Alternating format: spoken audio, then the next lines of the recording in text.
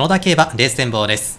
この時間は5月25日水曜日の展望を行ってまいります。解説は日刊スポーツ松本武さんです。どうぞよろしくお願いします。お願いいたします、えー、園田競馬5月の最終週の開催が水曜日からスタートということになりますまあ、とにかく気温が一気に上昇して、はい。もう夏ですね。うんね、今週30度近くまで、ねうん。上がるということですからね、うんまあ、これからちょっとやっぱ暑さ対策っていうのはね、していかないといけないですよね。そうですはい。ね、まあ、天候も良くて、まあ、馬場状態、量で、ね、行えてはいいそうという今週の開催になります。金曜日がちょっとね、天気があ下り坂ですかね。ああはい。そうですね、うん。はいまあ、そして先週、佐々木セレ騎手が101勝目を達成しまして、今週から一般騎手とい。うことになりまして、あのダイヤマークの2キロ減ということになりますね。普段ねこっちではあまり見慣れないんですけれどもね。ねはいまあこれからまあ徐々に慣れてくるんでしょうけどね、うん。はい、はい。まあ、今週から佐々木セレ騎手が2キロ減での騎乗ということになっています。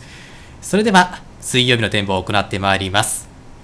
えー5月25日水曜日は全部で12レース行われます。開門時刻午前10時、1レースの発送が10時45分となっています。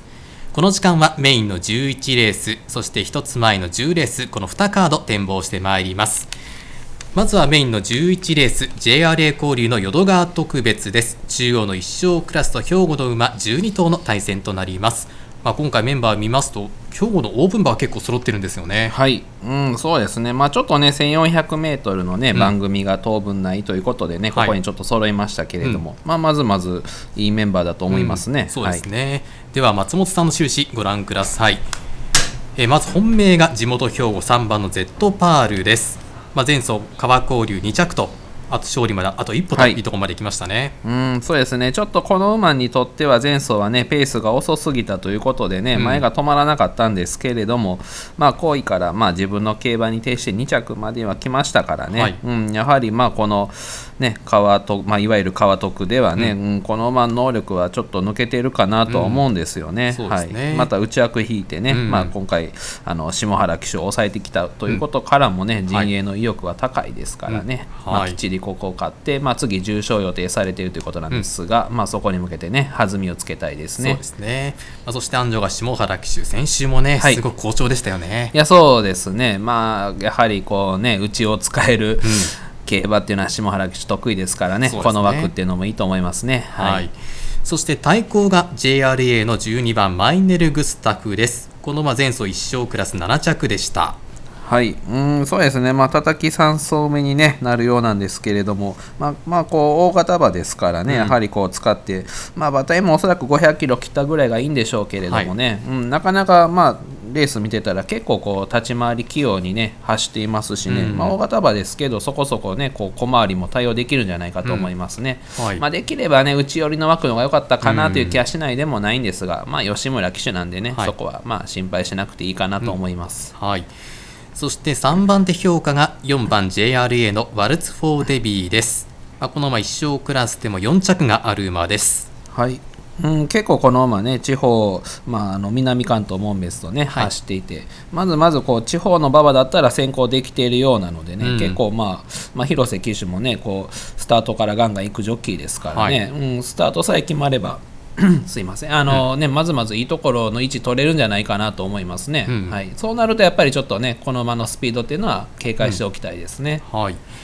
そしてその後の4番手評価が2番のコスモケルビンです。前走の稲川特別見どころ満載の4着とはい。いう結果でしたね、うん、あわやね差し切る勢いだったんですけれどもね、まあそこからもう一伸びっていうのがやはりまあ現状課題ではあるんですけれどもね、うんまあ、ただここ2走に比べるとねまだ相手は多少幾分今回マシな感じはあるのでね、ううんんまあ他の機種に変わりますけれどもまあね過去に乗ったことある馬ですしね、うん、すうまく末足さえたまればこれも引き続きチャンスかなと思います。うん、そして白三角が5枠2頭まず5番の里のグランです、まあ、1年前の淀川特別で2着があるというそうなんですよね、首差の接戦でしたけれどもね、この馬もまあちょっと、まあ、折り合いがね難しいところがあるんで、まあ、成績ももう一つね安定はしないんですけれどもね、まあ J, J 交流の、ね、流れでしたらしっかり対応できていますしね、はい。うん、まあここもね引き続き好勝負と見ていいんじゃないでしょうかね。はい。そして6番の赤リンが最後の白三角となりました、まあ、カー交流で勝利を挙げているとい。う今ですね、うんまあ、これももうねこの条件の常連ですけれどもね、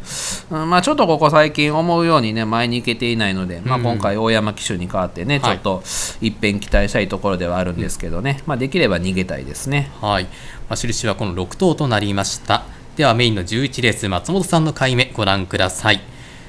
ここは馬単で3番 Z パール頭固定ということで、相手に5点ということでここはもう頭勝負なんですうね、ん決めてほしいと思いますね。はいはい、こう勢いをつけて重賞へとね。そうですねはいメインの11レース JRA 交流の淀川特別発送時刻は4時15分です。続いて一つ前の第10競争へと参ります。10レースは B2 の1組 1400m メンバー10頭です。松本さんの印こちらです。本命は3番のガレットショコラに打たれました。長期休み明け2戦目の馬です。はい、うーん、そうですね、まあ、前走もまあ休み明けの割にはね、結構北の調教師ね、期待されていて、まあ、最後止まってはしま止まってしまったんですけれども、うん。まずまず、まあ、この前にしては、まあ、上出来だったんじゃないかなと、しっかり、まあ、ハングタイムというね、強い勝ち馬だったんですけど、はい。まあそこまあ、その馬相手にね、結構4コーナーまでしぶとく抵抗しましたからね、うん。まあ、今回はそその当時に比べるとね、幾分相手は恵まれた印象はありますしね、ううんまあ、ここはまあ逃げか2番手から競馬できればチャンスかなと思います。はい、まあ、重賞戦線でもね活躍していたという馬がまず本命ということです。で対抗が9番の当選シルバーです。前走 B2 戦3着と見せ場がありました。そうですね、これもまあちょっとね、村がけするタイプなんですけれどもね、まあこうあまりこう切れる足があるわけではないんですけれどもね、うまくまあある程度の位置につければね、うん。最後結構しぶとく伸びてきますからね、はい。まあ今回ね、そこまでこう、なんと言いますかね、ペースも極端に速くはならないでしょうし、まあこう割と淡々と流れる流れならね、ある程度の位置にはつけて、まあ最後伸びてくるんじゃないかなと思います。はい。そして3番手評価が4番のフレーボーです。まあ、先行競馬でここ最近堅実にまとめています。うん、そうですね、できればね、前走はまあ逃げたかったんでしょうけれどもね、勝ち馬にうまく鼻を叩かれてしまってということで、うん。まあちょっと不完全燃焼の競馬にはなったんですけれども、はい。まあここはね、おそらくもう一度、花を切ってという競馬を佐々木騎手ね、狙ってくると思いますからね、そうなるとこの馬の良さが出てくると思います。はい、佐々木セレクションダイヤマークでの騎乗ということになっています。そしてその後の4番手評価5番のインプルーブです。今回叩き3走目です。うん、そうですね、ちょっとまあ、ここ最近、こうなんて言いますかね、4コーナー向いてからの反応がもう一つなんですけれどもね、まあ、ただ、まあ、追い切りなんかは結構しっかり動いているということですしね、はい。まあ、今回、下原騎手に代わって、ちょっと一遍気をつけておきたい馬ですね、まあ、3歳児ね、まずまずいい走り見せていた馬ですしね、はい。うんまだまだこの条件なら見限れないなと思います。まあ、この馬も JRA 交流の山子、はい交流でね勝っていると今ですからね。はいそして白三角が8番のラーです。まあ、過去には B 番勝ちがある実績馬です。うんそうですね、これもまあ徐々にこう末足見どころ出てきたかなと、さ前走もね、まずまず、まあ、いやあのうまくね、足をためて5着まで来ていますからね、うんまあ、これも今回はまあメンバーだいぶ前走に比べると手薄になっているのでね、やはりこう一発は警戒しておきたいですね。はい、え印はこの5頭となりました。